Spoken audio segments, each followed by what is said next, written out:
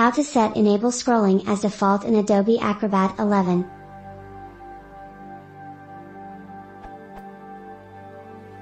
I have Acrobat Adobe 11.0.07 for OS X and I can't find a way to set enable scrolling, in View and GT, page display as a default option.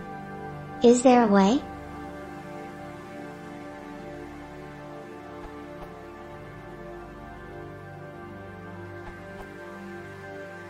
Edit in GT, Preferences in GT, Accessibility in GT, always use page layout style in GT, single page continuous.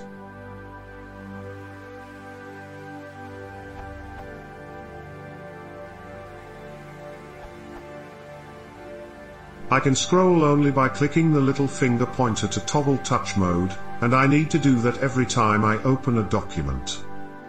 I have no idea why touch mode has anything to do with showing the scrolling bar, but that's what works for me.